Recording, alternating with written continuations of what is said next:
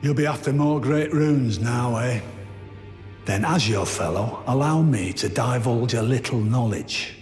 The inheritors of the great runes, the Shardbearers. We of the Round Table know the location of five of them, including the one you defeated.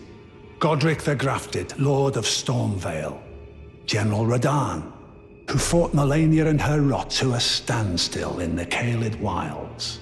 Praetor Rykard, Lord of the volcano manor of Mount Gelmir. Morgott, the Grace Given, Veiled Monarch and Lord of Leyndell, And Rennala, Queen of the Full Moon, ruler of Raya Lucaria's Academy. You'll still be after more great runes, won't you? So, Godrick the Grafted, Lord of Stormveil. Despite being the blood of Godfrey, First Elden Lord, He's a grotesque old fool, grasping for power. His castle lies upon the cliff to Limgrave's northwest, but I suspect you know that well enough already. General Radahn, the famed Red Lion and Scourge of the Stars, is a ferocious warrior. He fought Malenia and her rot to a standstill in the Caelid Wilds to Limgrave's east. And now Caelid has been engulfed by the Scarlet Rot. Even approaching the region is no mean feat. I've heard survivors of Radahn's army are still in the wilds, staving off the rot with fire. And if it's true, I suspect Radahn is still there as well, in Caelid. Though, I doubt he much resembles his former self anymore.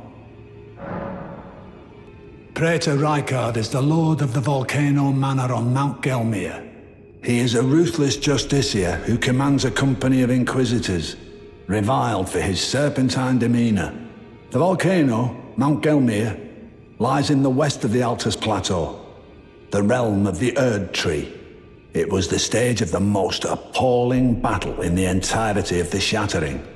Rykard has committed the grave sin of blasphemy marking himself as an enemy never to be forgiven. Morgott the Grace Given is Lord of Leyndell, the capital city. It lies at the foot of the Erd Tree, in the east of the Altus Plateau. But the Two Fingers forbid us from venturing there, until we've acquired enough great runes to repair the Elden Ring. Set your sights elsewhere for the time being. The Veiled Monarch can wait. The Academy of Raya Lucaria lies to Limgrave's north, towering over the mist-laden lands of Liurnia. Rennala is queen of the Carian royals, who govern the Academy. But Rennala herself is no demigod. Her beloved Radagon left her to become Queen Marika's second husband, taking the title of King Consort. The Great Rune dwells within the Amber Egg that was Radagon's gift to her.